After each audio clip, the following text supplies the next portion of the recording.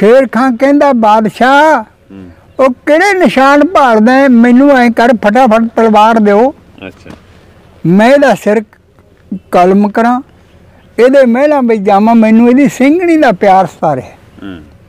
ਜੇ ਮੈਨੂੰ ਉਹ ਨਾ ਮੱਕੀ ਦੇ ਦਾਣੇ ਦਾ ਮੁੱਠ ਫੜਾਉਂਦੀ ਅੰਗੂਰਾਂ ਤੋਂ ਵੱਧ ਰਸ ਹੁੰਦਾ ਸੀ ਉਹਨਾਂ 'ਚ। ਸ਼ੇਰੂ ਬੋਲਦਾ ਤੋਲਦਾ ਕੁਫਰ ਖੜਕੇ ਧੜਕਾ ਕਾਲ ਦਾ ਚਿੱਤ ਚੋਂ ਦੂਰ ਕੀਤਾ। ਉਹਨੇ ਕਾਲ ਭਗਵਾਨ ਨੂੰ ਤਾਂ ਮਨੋਂ ਵਸਾਰਤਾ ਸੱਚ ਝੂਠ ਨੂੰ ਸੱਚ ਬਣਾ ਕੇ ਪੇਸ਼ ਕਰਤਾ। ਪਰ ਅਕਬਰ ਕਹਿੰਦਾ ਬਈ ਐਂ ਕਰ ਦਮ ਹੁਣ ਬਹਿ ਜਾ ਮੜ ਜਾ। ਸ਼ੇਰ ਖਾਨ ਬਹਾਤਾ ਹੂੰ। ਪ੍ਰਿਥਵੀ ਸਿੰਘ ਨੂੰ ਬੁਲਾਓ। ਹੂੰ। ਪ੍ਰਿਥਵੀ ਸਿੰਘ ਨੂੰ ਉਹ ਅਕਬਰ ਦਾ ਰਿਸ਼ਤੇਦਾਰ ਕਹਿਣ ਲੱਗਾ ਸ਼ੇਰ ਖਾਨ ਕਹਿੰਦਾ ਵੀ ਮੇਰਾ ਮੁਜਰਮ ਹੈ ਉਹ। ਜਿਵੇਂ ਹੱਥਕੜੀਆਂ ਬੇੜੀਆਂ ਲੱਗੀਆਂ ਹੋਈਆਂ ਨੇ ਇਸੇ ਤਰ੍ਹਾਂ ਸਭਾ ਵਿੱਚ ਪੇਸ਼ ਕਰੋ। ਐ ਮਸ਼ਹਰਾਂ ਦੇ ਨਿੰਬੂ ਟਿਕੇ ਸਰਦਾਰ ਪ੍ਰਿਥਵੀ ਸਿੰਘ ਦੇ। ਕਿਉਂਕਿ ਦਾਤਾ ਤੇ ਭਗਤ ਸੂਰਮਾ ਤਿੰਨੇ ਜੱਗ ਜਾਉਂਦੇ ਨੇ ਮਰਨ ਤੱਕ ਇਹ ਘਬਰਾਉਂਦੇ ਨਹੀਂ ਜਿੰਨਾ ਚਿਰ ਮੌਤ ਨਹੀਂ ਹੁੰਦੀ। ਹੂੰ। ਪ੍ਰਿਥਵੀ ਸਿੰਘ ਨੂੰ ਬੁਲਾਇਆ ਗਿਆ। ਉਹ ਪ੍ਰਿਥਵੀ ਸਿੰਘ ਨੂੰ ਅਕਬਰ ਕਹਿੰਦਾ ਕਿਆ ਪ੍ਰਿਥਵੀ ਸਿੰਘ ਜੀ ਤੇਰਾ ਮਨ ਮੰਨ ਗਿਆ ਵੀ ਤੇਰੀ ਸਿੰਘਣੀ ਦਾ ਧਰਮ ਸੀਲਾ ਉਹ ਹਾਰ ਗਿਆ। ਹੂੰ। ਪ੍ਰਿਥਵੀ ਸਿੰਘ ਖੜਾ ਹੋ ਕੇ ਬੁੱਕਣ ਲੱਗ ਗਿਆ। ਉਹ ਕਹਿੰਦਾ ਬਾਦਸ਼ਾਹ ਹੋਸ਼ ਕਰ। ਹੂੰ। ਸੋਚ ਕੇ ਬੋਲੀ ਹੂੰ। ਉਹ ਤੇਰੇ ਰਿਸ਼ਤੇਦਾਰ ਸ਼ੇਰ ਖਾਨ ਵਰਗੇ ਤਾਂ ਸਾਡੇ ਨਮੇਲਿਆਂ ਵਿੱਚ ਆਪਣੇ ਬਦਨ ਦੀ ਸ਼ਾਨ ਨਹੀਂ ਪਾ ਸਕਦੇ। ਹੂੰ। ਇਹ ਵਾਗਿਆ ਸਾਡੇ ਮਹਿਲਾਂ 'ਚ? ਬਿਲਕੁਲ ਨਹੀਂ। ਅੱਛਾ। ਜਿੱਦਾਂ ਸਾਡੇ ਧਰਮ ਕਰਮ ਦੇ ਟਿਕਾਣੇ ਹੱਲ ਗਏ। ਹੂੰ। ਜ਼ਮੀਨ ਉੱਪਰ ਚਲੀ ਜਾਊ ਆਕਾਸ਼ ਨੀਚੇ ਆਜੂ ਹੂੰ। ਬਾਦਸ਼ਾਹ ਔਰਤਾਂ ਆਪਣੇ ਇਸ ਗਰਭ ਵਿੱਚੋਂ ਬੱਚਿਆਂ ਨੂੰ ਜਨਮ ਦੇ ਕੇ ਆਪ ਰਿੰਨ ਕੇ ਖਾਣ ਲੱਗ ਜਾਣਗੀਆਂ। ਘਰ ਘਰ ਰਿਛਲ ਬੇਰਾ ਹੋਊ ਔਰ ਸੂਰਜ ਤੇ ਚੰਦਰਮਾ ਅਗਨ ਕੂੰਡ ਵਿੱਚ ਜਾ ਛੁਪਣਗੇ ਚੜ ਕੇ। ਜੀ। ਦੁਬਾਰਾ ਨਹੀਂ ਚੜੂ। ਮੱਸਿਆ ਦੀ ਰਾਤ ਅੰਧੇਰਾ ਬਣ ਜੂਗਾ। ਸਿਖਰ ਦੁਪਹਿਰਾ ਪਰ ਸਾਡਾ ਧਰਮ ਕਰਮ ਨਹੀਂ ਹੁੰਦਾ। ਬਾਦਸ਼ਾਹ ਅਕਬਰ ਹੋਸ਼ ਵਿੱਚ ਆਇਆ। ਉਹ ਕਹਿੰਦਾ, ਬਈ ਗੱਲ ਸੁਣ, ਤੇਰੇ ਦੋ ਸ਼ਬਦਾਂ ਤੋਂ ਮੇਰਾ ਦਿਲ ਖੜ ਗਿਆ। ਨਹੀਂ ਤਾਂ ਫਿਰ ਤੇਰਾ ਕਿਸੇ ਵੀ ਲਾ ਕਾਨੂੰਨ ਤੋਂ ਬਿਨੀ ਸਰੀਰ ਦਾ ਸਿਰ ਤੋਂ ਧੜ ਦਾ ਵੱਖਰਾ ਹੋਣਾ ਤਿਆਰ ਹੋ ਗਿਆ ਸੀ। ਉਹ ਕਹਿੰਦਾ ਵੀ ਤੇਰਾ ਮਨ ਕੀ ਮੰਨਦਾ? ਉਹ ਕਹਿੰਦਾ, ਜੀ ਮਨ ਮੇਰਾ ਇਹ ਮੰਨਦਾ ਵੀ ਮੇਰੇ ਘਰ ਵਾਲੀ ਦਾ ਧਰਮ ਹੈ ਜਿਹੜਾ ਬਿਲਕੁਲ ਸਹੀ ਹੈ ਟਿਕਾਣੇ ਤੇ। ਸਾਰਾ ਕੁਝ ਬਿਲਕੁਲ ਠੀਕ ਹੈ ਮੇਰਾ ਮਨ ਨਹੀਂ ਮੰਨਦਾ। ਹੁਣ ਬਾਦਸ਼ਾਹ ਅਕਬਰ ਖੜਾ ਹੋ ਗਿਆ ਤਖਤ ਤੇ। ਬਈ ਹੁਣ ਸਰਦਾਰ ਪ੍ਰਿਥਵੀ ਸਿੰਘ ਨੂੰ ਮੜੀ ਜੀ ਕਿਹਨਾਂ ਛੁੱਟੀ ਦੇਣੀ ਚਾਹੀਏ? ਕੋਈ ਤਰੀਕਾ ਬਣਾਉਣਾ ਚਾਹੀਏ। ਹੁਣ ਬਾਦਸ਼ਾਹ ਖੜਾ ਹੋ ਕੇ ਬਿਆਨ ਦਿੰਦਾ ਦੋ ਅਕਬਰ। ਅੱਛਾ। ਉਹ ਕਹਿੰਦਾ ਬਈ ਮੈਂ ਲੋਕੋ ਦੁਨੀਆ ਵਾਲਿਓ ਮੈਂ ਇਸ ਫੈਸਲੇ ਦੀ ਸੁਣਵਾਈ ਕਰਦਾ ਹੂੰ ਲੋਕ ਆਵਾਜ਼ ਦਾ ਇੰਤਜ਼ਾਰ ਕਰਨ ਲੱਗੇ ਹੂੰ। ਬਈ ਹੁਣ ਕੀ ਫੈਸਲਾ ਆਊਗਾ ਹੂੰ। ਅਕਬਰ ਆਜਮ ਕਹਿੰਦਾ ਸਰਦਾਰ ਪ੍ਰਿਥੀ ਸਿੰਘ ਨੂੰ ਪਰਸੋਂ ਨੂੰ 12 ਵੱਜ ਕੇ 25 ਮਿੰਟ ਤੇ ਫਾਹਾ। ਅੱਛਾ। ਲੋਕ ਕਹਿੰਦੇ ਕਰਤਾ ਵੀ ਖਤਮ ਨਾ ਇਦੋਂ ਅੱਗੇ ਅਪੀਲ ਹੈ ਨਾ ਦਲੀਲ ਹੈ ਨਾ ਸੁਪਰੀਮ ਕੋਰਟ ਹੈ। ਹੂੰ। ਆਖਰੀ ਫੈਸਲਾ। ਦੂਸਰਾ ਆਵਾਜ਼ ਫਿਰ ਆ ਗਿਆ ਰਾਜੀ ਦਾ। ਉਹ ਕਹਿੰਦਾ ਵੀ ਮੁਹੰਮਦ ਦੇ ਸੇਵਾਦਾਰੋ ਹੂੰ। ਪਰਸੋਂ ਨੂੰ ਸਰਦਾਰ ਪ੍ਰਿਥੀ ਸਿੰਘ ਨੂੰ 12 ਵੱਜ ਕੇ 25 ਮਿੰਟਾਂ ਤੇ ਫਾਹਾ। ਹੂੰ। ਉਹ ਤੋਂ ਉਹ ਤੋਂ ਪਹਿਲਾਂ ਤਿੰਨ ਦਿਨਾਂ ਦੀ ਖੁੱਲੀ ਛੁੱਟੀ ਕਿਤੇ ਜਾਵੇ। ਆਪਣੇ ਮਿੱਤਰਾਂ ਬੇਲੀਆਂ ਨੂੰ ਮਿਲ ਕੇ ਆਵੇ। ਆਪਣੇ ਮਹਿਲਾਂ ਦਾ ਇੰਤਜ਼ਾਮ ਕਰਕੇ ਆਵੇ ਕਿਤੇ ਫਿਰੇ। ਆਹ ਗੱਲ ਸੁਣ ਕੇ ਸ਼ੇਰ ਖਾਂ ਘਬਰਾ ਗਿਆ। ਉਹ ਕਹਿੰਦਾ ਬਾਦਸ਼ਾਹ ਜੀ ਇੱਕ ਬਿਆਨ ਮੇਰਾ ਹੂੰ। ਉਹ ਕਹਿੰਦਾ ਦੱਸ ਵੀ। ਉਹ ਕਹਿੰਦਾ ਗੱਲ ਸੁਣੋ। ਜਿਹੜੇ ਮੁਲਜ਼ਮ ਨੂੰ ਗਵਰਨਮੈਂਟ ਫਾਹਾ ਲਿਖਦੇ ਆਵੇ ਦੀ ਕਲਮ ਤੋਂ ਉਹਨੂੰ ਬਿਨਾਂ ਜ਼ਮਾਨਤ ਤੋਂ ਛੁੱਟੀ ਦਿਵਾਉਣ ਦਾ ਕਿਹੜਾ ਕਾਨੂੰਨ ਹੈ? ਕਿੱਥੇ ਲਿਖਿਆ ਤਾਂ ਖਾਓ ਮੈਨੂੰ ਠੀਕ ਹੈ। ਬਾਦਸ਼ਾਹ ਰੁਕ ਗਿਆ।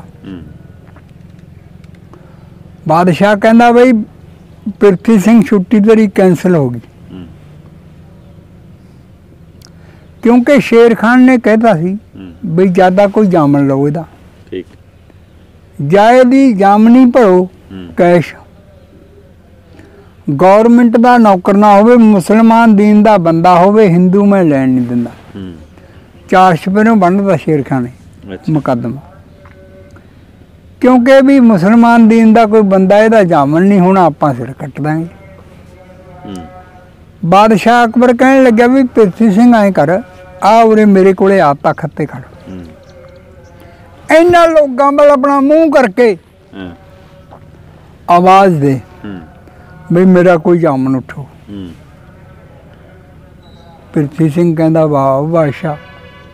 ਮੈਂ ਆਵਾਜ਼ ਦੇ ਦਾਂ ਵੀ ਮੇਰਾ ਕੋਈ ਜਾਮਨ ਉਠੋ ਜਾਮਨ ਮੇਰਾ ਕੋਈ ਉੱਠੇ ਨਾ ਫਿਰ ਮੈਂ ਤਾਂ ਜਿਉਂਦੀ ਮਰ ਗਿਆ। ਹਾਂ। ਕੀ ਜ਼ਿੰਦਗੀ ਹੈ ਮੇਰੀ ਫਿਰ? ਮੈਂ ਬਿਲਕੁਲ ਨਹੀਂ ਆਵਾਜ਼ ਦਿੰਦਾ। ਮੇਰਾ ਸਿਰ ਕੱਟੋ। ਹੂੰ। ਬਾਦਸ਼ਾਹ ਅਕਬਰ ਉਹਦੇ ਸ਼ਬਦਾਂ ਤੇ ਘੈਲ ਹੋਇਆ ਖੜਾ ਹਾਂ। ਉਹ ਕਹਿੰਦਾ ਵਾਹ ਪ੍ਰਿਥਵੀ ਸਿੰਘਾ ਪੁੱਤ ਮਾਵਾ ਜੰਮਣ ਜੇ ਤੇਰੇ ਵਰਗੀ ਜੰਮਣ। ਉਹ ਕਹਿੰਦਾ ਫਿਰ ਤੇਰੀ ਥਾਂ ਤੇ ਮੈਂ ਆਵਾਜ਼ ਦਿੰਨਾ। ਭਾਵੇਂ ਫੇਲ ਹੋਵੇ ਚਾਹੇ ਪਾਸ। ਹੂੰ। ਪ੍ਰਿਥਵੀ ਸਿੰਘ ਦੀ ਜਗ੍ਹਾ ਤੇ ਅਕਬਰ ਬਾਦਸ਼ਾਹ ਆਵਾਜ਼ ਦਿੰਦਾ ਕਹਿੰਦਾ ਵੀ ਐ ਦਿੱਲੀ ਦੇ ਲੋਗੋ ਓ ਮੁਹੰਮਦ ਦੇ ਸੇਵਾਦਾਰੋ।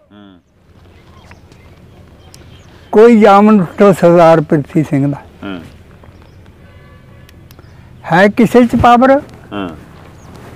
ਕੈਥਲ ਸ਼ਹਿਰ ਦਾ ਇੱਕ ਪਠਾਨ। ਹਾਂ। ਅਲੀ ਸ਼ੇਰ ਨਾਮ ਜੀ ਦਾ। ਹਾਂ। ਉਹ ਖੜਾ ਹੋ ਕੇ ਕਹਿੰਦਾ ਹਾਂ। ਉਹ ਬਾਦਸ਼ਾਹ ਹਾਂ। ਮੈਂ ਇਸ ਬੱਚੇ ਦਾ ਜਾਮਨ ਹੂੰ। ਸਾਢੇ ਸੱਤ ਲੱਖ ਕੈਸ਼ ਭਰ ਸਕਦੇ ਜੇ ਕਹੂੰ। ਅੱਜ ਤੋਂ ਤੇਰੀ ਇਹ ਸਰਕਾਰ ਦਾ ਮੈਂ ਨੌਕਰ ਨਹੀਂ।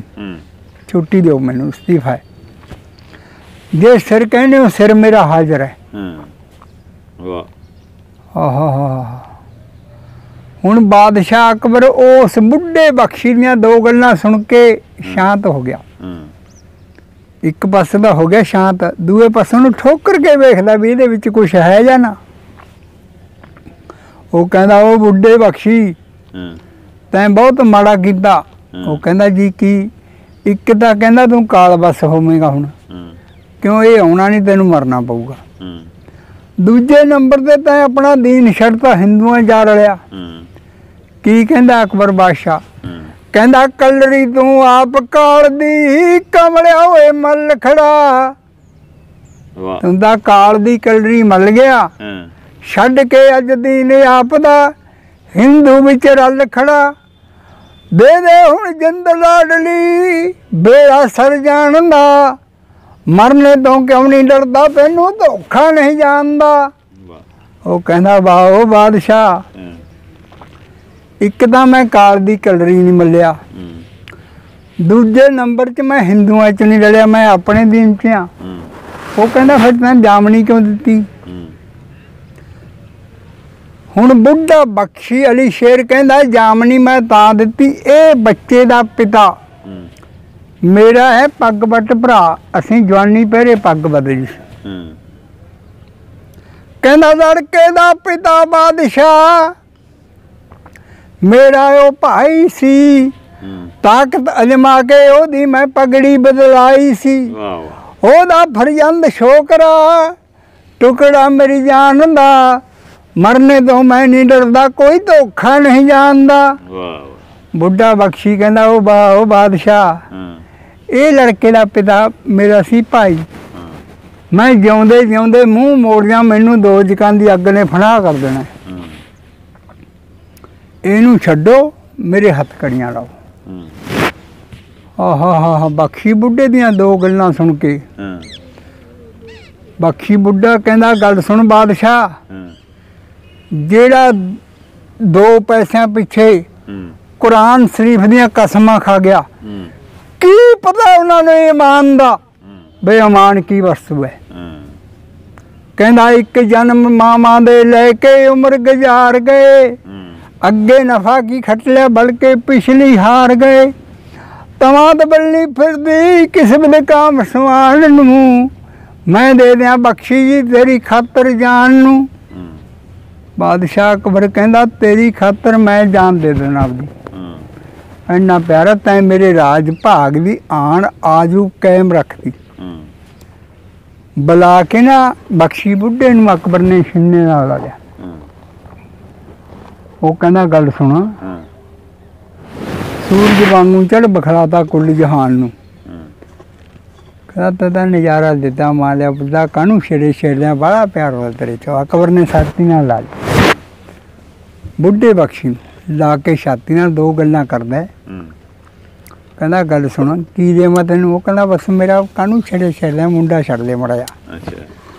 ਹੁਣ ਇੱਕ ਸਰਦਾਰ ਪ੍ਰਿਥੀ ਸਿੰਘ ਨੂੰ ਕਹਿੰਦਾ ਬਖਸ਼ੀ ਬੁੱਢਾ ਬਈ ਪੁੱਤਰਾ ਗੱਲ ਸੁਣ। ਤੂੰ ਜਾ ਮੁੰਦੀ ਕੋਟੇ ਨੂੰ। ਜਾ ਕੇ ਘਰੇ ਵਗ ਜਾ ਮਾੜਾ ਜਿਹਾ ਪਤਾ ਸਤਾ ਲੈ ਵੀ ਗੱਲ ਕੀ ਹੈ। ਅਸਲ ਤਾਂ ਲੜਕੀ ਹੋਊਗੀ ਸੱਚੀ। ਮੇਰਾ ਮਨ ਨਹੀਂ ਮੰਨਿਆ ਵੀ ਇਹ ਵਗ ਗਿਆ ਹੋਊਗਾ। ਉਹ ਕਹਿੰਦਾ ਦੁਰ ਜਾ ਪੰਜੇ ਵਾਲਾ ਹਥਿਆਰ ਘੋੜੇ ਤੇ ਹੋ ਜਾ ਸਵਾਰ ਹੂੰ ਜਾ ਪੱਬਾਂ ਭਾਰ ਫਟਾਫਟ ਨਿਮੇੜ ਦੇ ਬਾਟ ਹੁਣ ਬਖਸ਼ੀ ਬੁੱਢਾ ਆਪਦੇ ਭਤੀਜੇ ਦੀ ਤਿਆਰੀ ਕਰਵਾਉਂਦਾ ਘੋੜਾ ਮੰਗਵਾ ਲਿਆ ਪੰਜੇ ਹਥਿਆਰ ਵਾਲੇ ਪੱਗ ਬੰਨ ਲਈ ਮਸ਼ਰਨ ਨੂੰ ਦੇ ਲਿਆ ਤਾ। ਸਿਰ ਤੋਂ ਪੈਰਾਂ ਤੱਕ ਅੱਗ ਮੱਚੇ ਬਹਾਦਰ ਦੇ। ਉਹਦੇ ਦਿਲ ਵਿੱਚ ਅਰਮਾਨਾਂ ਦੀ ਦੁਨੀਆ ਵਸਦੀ ਸੀ। ਬਈ ਮੇਰੀ ਸਿੰਘਣੀ ਇੱਕ ਸੋਨੇ ਦਾ ਤੱਕ ਮੈਂ ਸਿਰ ਤੋਂ ਪੈਰਾਂ ਤੱਕ ਕਰਮ ਧਰਮ ਵਿੱਚ ਪੂਰੀ ਹੈ ਪਰ ਕਦੇ ਕਦੇ ਜ਼ਾਲਮਾਂ ਦੀ ਠੱਗੀ ਦੇ ਦਿਲ ਚਲੇ ਜਾਵੇ। ਬਈ ਹੋ ਸਕਦਾ ਕੋਈ ਪਾਪਣ ਤੋਂ ਗਲਤੀ ਹੋ ਗਈ ਹੋਵੇ। ਹੁਣ ਪ੍ਰਿਥੀ ਸਿੰਘ ਤੋਂ ਲੱਗਿਆ ਨਾ ਤੁਰਨ ਘੋੜੇ ਨੇ ਐ ਕਦਮ ਪੱਟੀ। ਅੱਗੇ ਫਿਰ ਤਾਇਆ ਜੀ ਆ ਗਏ ਬਖਸ਼ੀ ਬੁੱਢਾ ਜੀ। ਅੱਛਾ। ਜਾਂਦੇ ਹੋਏ ਸਰਦਾਰ ਪ੍ਰਿਥੀ ਸਿੰਘ ਦੇ ਘੋੜੇ ਦੀ ਬਾਗ ਨੂੰ ਪਾ ਕੇ ਹੱਥ। ਹੂੰ। ਉਹ ਕਹਿੰਦਾ ਠਹਿਰੋ ਪੁੱਤਰਾ। ਹੂੰ। ਦਿੱਲੀ ਤੋਂ ਰਵਾਨ ਫੇਰ ਹੋਈ ਪਹਿਲਾਂ ਦੋ ਗੱਲਾਂ ਮੇਰੀਆਂ ਹੂੰ। ਸੁਣ ਕੇ ਜਾਈ। ਪੱਗ ਦਾ ਲੜ ਖੋਲ ਲੈ ਹੂੰ। ਗੰਢ ਦੇ ਲੈ ਮੇਰੇ ਸ਼ਬਦਾਂ ਦੀ। ਹੂੰ। ਗੰਢ ਦੇ ਕੇ ਬੰਨ ਕੇ ਪੱਲੇ ਨਾਲ ਫੇਰ ਤੁਰੀ। ਉਹ ਕਹਿੰਦਾ ਦੱਸੋ ਤਾਇਆ ਜੀ ਕੀ ਦਿਓਗੇ ਬਿਆਨ? ਹੂੰ। ਉਹ ਕਹਿੰਦਾ ਵੀ ਬਿਆਨ ਇਹ ਹੈ ਪਹਿਲਾ ਪਰਨ ਦੋ ਪਗਾ ਦੀ ਮੇਰੇ। ਪਹਿਲਾ ਪਰਨ ਤਾਂ ਇਹ ਹੈ ਜਾ ਕੇ ਮੇਰੀ ਨੂੰਹ ਤੇ ਹੱਥ ਨਾ ਖੜੀ ਖੜਾ ਕਰੀ। ਹੂੰ। ਤੈਨੂੰ ਕਸਮ ਹੈ ਦੀਨ ਦਿਆਲ ਦੀ। ਹੂੰ। ਦੂਜੇ ਨੰਬਰ ਤੇ ਦਿੱਲੀ 'ਚ ਵਾਪਸ ਨਾ ਆਈ। ਉਹ ਕਹਿੰਦਾ ਮੇਰੇ ਪੁੱਤ ਚਾਰ ਤੂੰ ਅਕੇਲਾ ਬਾਪ ਦੇ ਓਏ ਮੇਰੇ ਸ਼ੇਰ ਬੱਚਿਆ ਮੇਰਾ ਮਰ ਜਾਣਾ ਜੋਗ ਪਿੱਛੇ ਆਪ ਕੇ ਤੂੰ ਸਮੇਰ ਬੱਚਿਆ। ਕਹਿੰਦਾ ਤੂੰ ਸੋਨੇ ਦਾ ਪਰਬਤ। ਮੇਰੇ ਭਰਾ ਦੀ ਜਿੰਦ ਜਾਨ। ਮੇਰੇ ਜਿਉਂਦੇ ਜੀ ਮਰਜ਼ੀ ਫਿਰ ਮੇਰੀ ਜ਼ਿੰਦਗੀ ਹੈ ਕੋਈ? ਦੂਜਾ ਪਰਨ ਮੇਰੀ ਨੂੰਹ ਤੇ ਹੱਥ ਨਾ ਖੜਾ ਕਰੀ। ਕਹਿੰਦਾ ਪਤੀ ਵਰਤਾ ਧਰਮ ਜਨਿਆਉਣ ਨੀਤੀਆਂ ਹੋਏ ਬੀਬੀ ਪੜੀ ਹੋਈ ਹਾਂ। ਗੋਕ ਨੇ ਗਊ ਦੇ ਨਾਲ ਗੱਲਾਂ ਕੀਤੀਆਂ ਗਈ ਕਿਉਂ ਮਤ ਖੋਈ ਹਾਂ? ਜਾੜਾਂ ਕੱਢ ਦੇਣ ਦੀ ਚਪੇੜ ਜੜ ਕੇ ਬਿਨਾ ਹਥਿਆਰ ਤੋਂ। ਫੈਸਲਾ ਕਰਾਂਗੇ, ਬੈਰੀ ਨਾਲ ਅੜ ਕੇ ਨਾ ਟਲਾਂਗੇ ਬਾਰ ਤੋਂ। ਮੇਰਾ ਮਨ ਨਹੀਂ ਮੰਨਦਾ ਵੀ ਮੇਰੀ ਨੂੰਹ ਹੈ ਜਿਹੜੀ ਉਹ ਧਰਮ ਹਾਰ ਗਈ। ਹੁਣ ਜਾਂਦੇ ਭਤੀਜੇ ਨੂੰ ਰੋਕ ਕੇ ਦੋ ਬਿਆਨ ਕਹਤੇ ਔਰ ਸਰਦਾਰ ਪ੍ਰਿਥੀ ਸਿੰਘ ਵਿਦਾ ਹੋ ਗਿਆ। ਜਦ ਬੂੰਦੀਗੜ੍ਹ ਜਾ ਪਹੁੰਚਿਆ ਘੋੜਾ, ਨਮੇਲੇ ਤੋਂ ਦੇਖ ਕੇ ਨਾ ਦਰਸ਼ਨ ਕਰਕੇ ਦੂਰੋਂ ਪ੍ਰਿਥੀ ਸਿੰਘ ਦੇ ਰੋਮ ਰੋਮ ਵਿੱਚ ਅੱਗ ਮੱਚੇ। ਨੇਤਰ ਲਾਲ ਹੋ ਗਏ। ਵਾਪਸ ਲੱਗਿਆ ਮੁੜਨ। ਉਹ ਕਹਿੰਦਾ ਮੱਥੇ ਲਾਉਣੀ ਕੀ ਕਲੰਕ ਮੂਹੀ ਨਾਰੀ। ਮੁੜ ਜਾ ਪਛਾੜੀ ਨੂੰ ਮਨਾ। ਹੁਣ ਪੁੱਠਾ ਮੁੜਨ ਲੱਗਦਾ ਅੱਗੇ ਘੋੜਾ ਤੁਰੇ ਤੇ ਬੂੰਦੀਗੜ੍ਹ ਵਾਲੇ ਨਮੇਲੇ ਕੋਲੇ ਜਾ ਕੇ ਪੌੜ ਖੜ ਕੇ ਉਹ ਹਵਾਲਾ ਆਪਾਂ ਅਗਲੇ ਹਿੱਸੇ ਵਿੱਚ ਭਰਾਂਗੇ। ਬਈ ਪ੍ਰਿਥੀ ਸਿੰਘ ਨੇ ਕੀ ਵਤੀਰਾ ਵਰਤਿਆ? ਆਓ ਪਿਆਰਿਓ ਅਗਲੀ ਗੱਲ ਅਗਲੇ ਹਿੱਸੇ ਵਿੱਚ।